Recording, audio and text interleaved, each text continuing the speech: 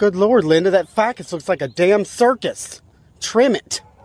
It's not Sesame Street out here. Instead of turning up, you need to be learning up. Get your grades lit, textbooks and skills, not Netflix and chill.